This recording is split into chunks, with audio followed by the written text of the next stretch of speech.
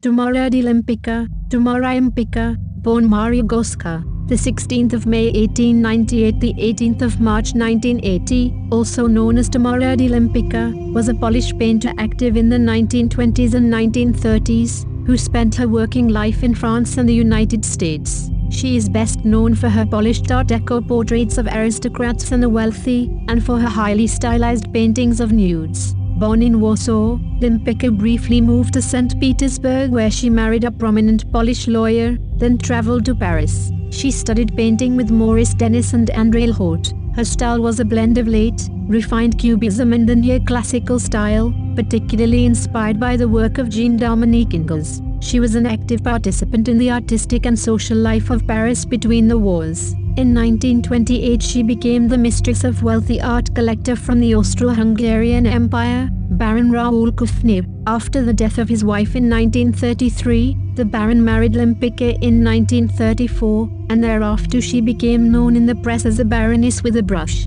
Following the outbreak of World War I in 1939, she and her husband moved to the United States and she painted celebrity portraits, as well as still lifes and, in the 1960s, some abstract paintings. Her work was out of fashion after World War II, but made a comeback in the late 1960s with the rediscovery of Art Deco. She moved to Mexico in 1974, where she died in 1980. At her request, her ashes were scattered over the Popocatépetl volcano. Korea, Warsaw and St. Petersburg, 1898 1917. She was born Maria Górska on the 16th of May 1898 in Warsaw, then part of Congress Poland. Her father was Boris Gurwik-Górski, a Russian Jewish attorney for a French trading company, and her mother was Malwina Dekler, a Polish socialite who had lived most of her life abroad and who met her husband at one of the European spas. At the age of 10, her mother commissioned a pastel portrait of her by a prominent local artist. She detested posing and was dissatisfied with the finished work. She took the pastels, had her younger sister pose, and made her first portrait. In 1911 her parents sent her to a boarding school in Lausanne, Switzerland, but she was bored and she feigned illness to be permitted to leave the school. Instead, her grandmother took her on a tour of Italy, where she developed her interest in art. Her parents divorced in 1912, and her mother remarried. She returned to the school in Lausanne, but to protest the remarriage of her mother, she refused to spend her holidays with her family. Instead, she spent the summer with her wealthy aunt Steffa in St. Petersburg. There, in 1915, she met and fell in love with a prominent Polish lawyer, Tadeusz Łempicki, 1888-1951. Her family offered him a large dowry, and they were married in 1916 in the chapel of the Knights of Malta in St. Petersburg. The Russian Revolution in November 1917 overturned their comfortable life. In December 1917, Tadeusz Łempicki was arrested in the middle of the night by the Cheka, the secret police. Tamara searched the prisons for him, and with the help of the Swedish consul, to whom she offered her favors, she secured his release. They traveled to Copenhagen then to London and finally to Paris, where Tamara's family had also found refuge. Paris, 1918 to 1939. In Paris, the Łempickis lived for a while from the sale of family jewels. Tadeusz proved unwilling or unable to find suitable work. Their daughter, Kizette, was born, adding to their financial needs. She decided to become a painter by the suggestion of her sister, and studied at the Académie de la Grande Chaumière with Maurice Denis, and then with André Lhote, who was to have a greater influence on her style. Her first paintings were still lifes and portraits of her daughter Kizette and her neighbor. She sold her first paintings through the Gallery Colette-Weil, which allowed her to exhibit at the Salon des Independents, the Salon d'Automne and the Salon des moins de trente ans, for promising young painters. Her breakthrough came in 1925 with the International Exhibition of Modern Decorative and Industrial Arts which later gave its name to the style Art Deco. She exhibited her paintings in two of the major venues, the Salon des Tuileries and the Salon des Femmes Peintres. Her paintings were spotted by American journalists from Harper's Bazaar and other fashion magazines, and her name became known. In the same year, she had her first major exposition in Italy, in Milan, organized for her by Count Emanuele Castelbarco. For this show Lempicka painted 28 new works in six months. During her Italian tour, she took a new lover, the Marquis Sommi Picenardi. She was also invited to meet the famous Italian poet and playwright, Gabriele D'Annunzio. She visited him twice at his villa on Lake Garda, seeking to paint his portrait. He in turn was set on seduction. After her unsuccessful attempt to secure the commission, she went away angry, while D'Annunzio also remained unsatisfied. In 1927 Lempicka won her first major award, the first prize at the Exposition Internationale des Beaux-Arts in Bordeaux, France, for her portrait of Kizette on their balcony.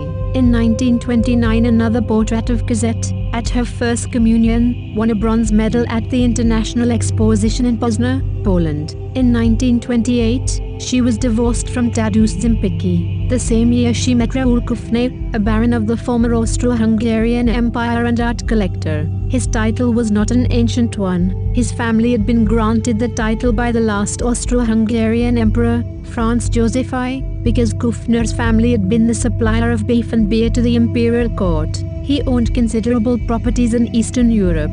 He commissioned her to paint his mistress, the Spanish dancer Nana de Herrera. Lempicka finished the portrait, which was not very flattering to the de Herrera, and took the place of de Herrera as the mistress of the Baron. She bought an apartment on Rue Méchain in Paris, and had it decorated by the modernist architect Robert Mallet Stevens. In 1929, Lempicka painted one of her best-known works, Autoportrait, Tamara in a green Bugatti, for the cover of the German fashion magazine Die Dame. This showed her at the wheel of a Bugatti racing car, wearing a leather helmet and gloves and wrapped in a grey scarf, a portrait of court beauty, independence, wealth and inaccessibility. In fact she did not own a Bugatti automobile, her own car was a small yellow Renault, which was stolen one night when she and her friends were celebrating at La Rotonde in Montparnasse. She traveled to the United States for the first time in 1929 to paint a portrait of the fiancé of the American oilman Rufus T. Bush and to arrange a show of her work at the Carnegie Institute in Pittsburgh.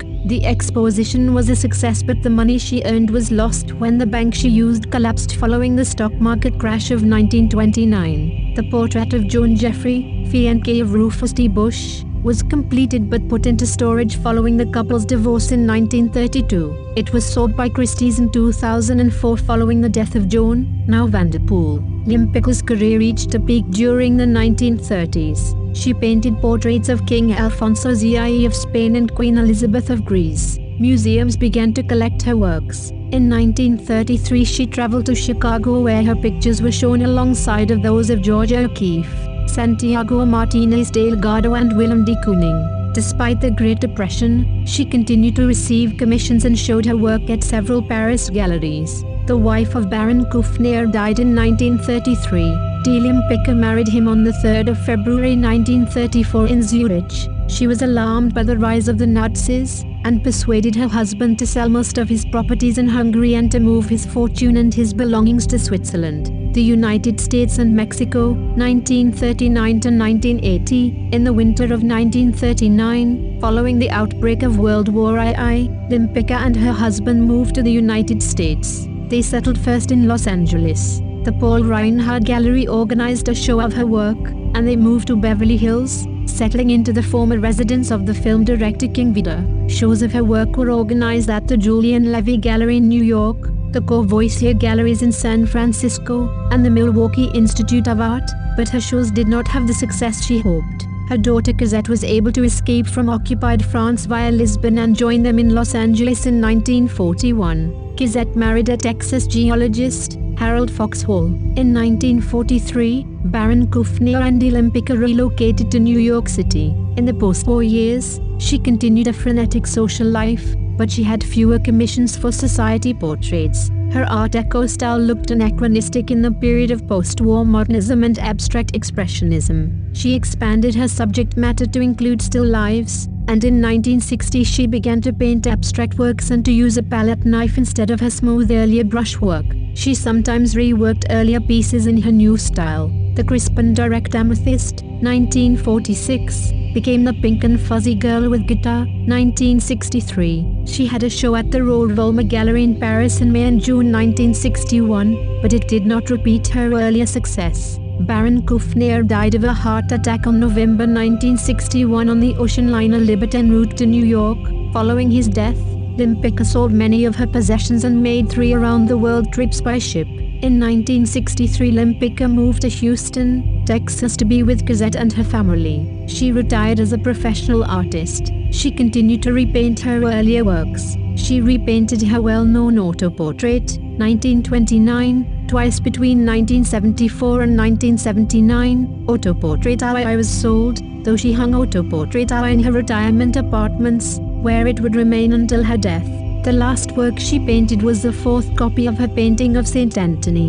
In 1974 she decided to move to Cuernavaca, Mexico. After the death of her husband in 1979, Kizette moved to Cuernavaca to take care of Lempicka, whose health was declining. Lempicka died in her sleep on the 18th of March 1980. Following her wishes, her ashes were scattered over the volcano of Popocatépetl. Rediscovery, a resurgence of interest in Art Deco began in the late 1960s. A retrospective of her work was held at the Luxembourg Gallery in Paris in 1973, a few years before her death, and received positive reviews. After her death, her early Art Deco paintings were being shown and purchased once again. A stage play, Tamara, was inspired by her meeting with Gabriel D'Annunzio and was first staged in Toronto. It then ran in Los Angeles for 11 years, 1984 to 1995, at the VFW Post, making it the longest running play in Los Angeles, and some 240 actors were employed over the years.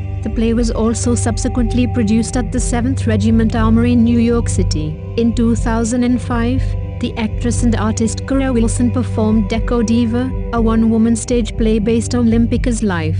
Her life and her relationship with one of her models is fictionalized in Ellis Avery's novel The Last Nude, which won the American Library Association Stonewall Book Awards Barbara Gittings Literature Award for 2013. Style and subjects The best description of Lempicka's work was her own. I was the first woman to make clear paintings, she later told her daughter, and that was the origin of my success. Among a hundred canvases, mine were always recognizable. The galleries tended to show my pictures in the best rooms because they attracted people. My work was clear and finished. I looked around me and could only see the total destruction of painting. The banality in which art had sunk gave me a feeling of disgust. I was searching for a craft that no longer existed. I worked quickly with a delicate brush. I was in search of technique, craft, simplicity and good taste. My goal, never copy. Create a new style, with luminous and brilliant colors, rediscover the elegance of my models. She was one of the best known painters of the Art Deco style, a group which included Jean Dupas, Diego Rivera, Josep Maria Sert, Reginald Marsh, and Rockwell Kent.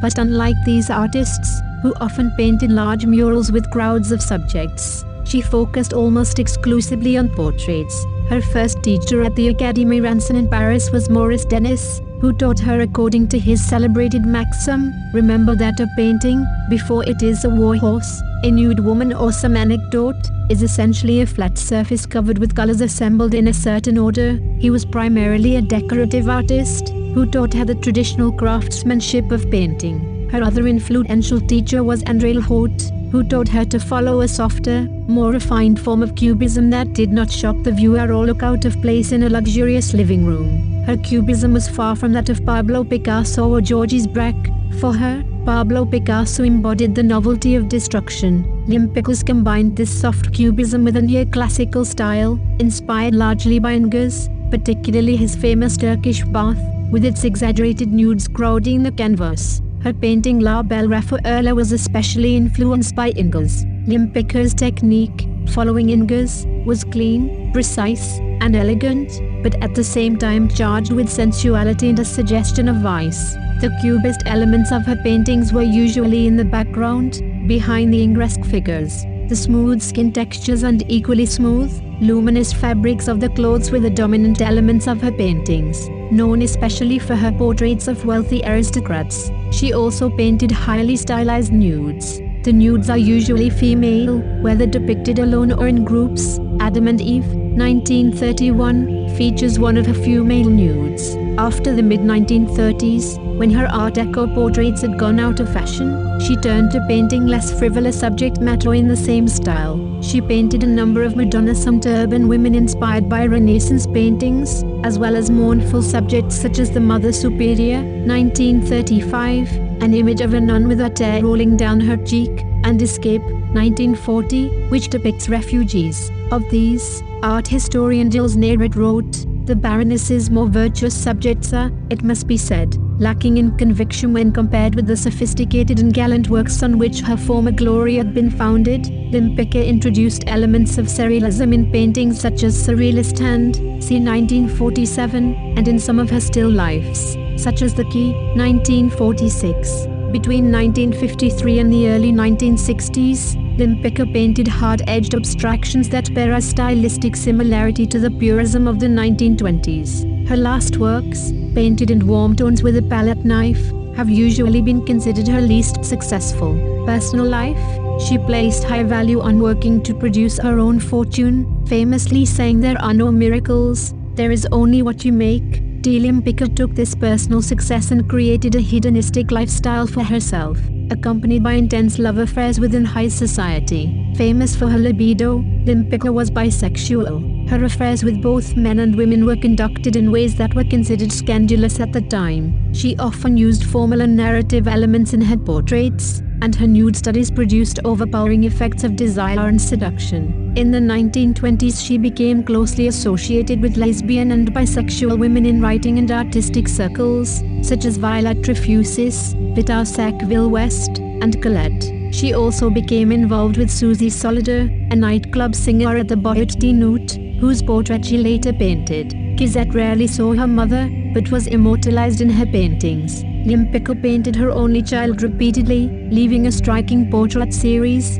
Kizette in Pink, 1926, Kizette on the Balcony, 1927, Kizette Sleeping, 1934, Portrait of Baroness Kizette, 1954 to 1955, etc. In other paintings, the women depicted tend to resemble Kizette. Legacy American singer songwriter and actress Madonna is an admirer and collector of Lempicka's work and has lent paintings to events and museums. Madonna has also featured Lempicka's work in her music videos for Open Your Heart, 1987, Express Yourself, 1989, Vogue, 1990, and Drowned World Substitute for Love, 1998. She also used paintings by Lempicka on the sets of her 1987 Who's That Girl and 1990 Blonde Ambition World Tours. Other notable Lempicka collectors include actor Jack Nicholson and singer-actress Barbra Streisand. Robert Dassanowsky's book Telegrams from the Metropole, Selected Poems 1980 to 1998 includes the poems Tamara de Lempicka and La Donna di Oro dedicated to Kizette di Lempicka. On the 16th of May 2018, in celebration of what would have been her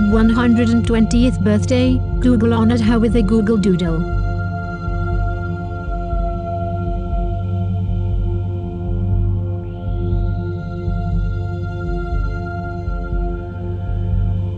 Please subscribe Wiki Audio YouTube page below, and click notification icon to get future videos. Check out channel page to get more videos.